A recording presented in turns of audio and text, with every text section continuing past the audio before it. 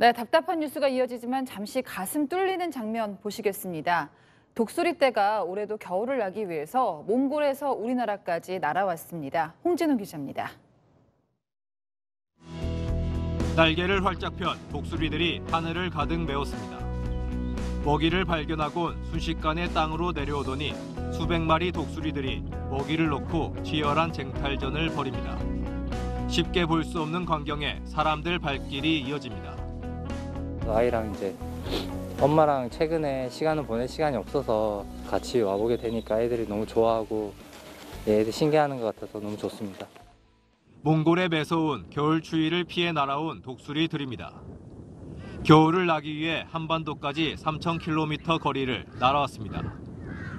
전 세계 2만 마리 남짓한 독수리 중 2천 마리가 우리나라에서 겨울을 보내는데 이 중 절반 가까운 800마리가 고성을 찾고 있습니다.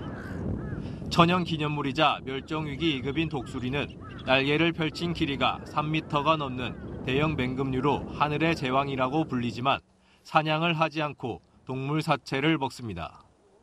겨울엔 먹잇감을 잡기 쉽지 않다 보니 사람 손으로 먹이를 주고 있습니다. 고성군은 주한 몽골 대사관 등과 협약을 맺고 독수리 보호를 위해 이동 경로와 생태를 조사하고 있습니다. 번식지인 몽골과 그다음 이동 경로인 중국과 북한 민간 교류로 해서 보호하기 위해서는 이동하는 나라들하고 같이 협조가 되지 않으면 안 되거든요.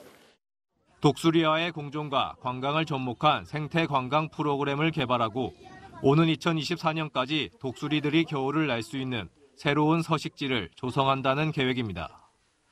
독수리들은 봄바람이 불어오는 내년 3월 몽골로 돌아갑니다. 채널A 뉴스 홍진우입니다.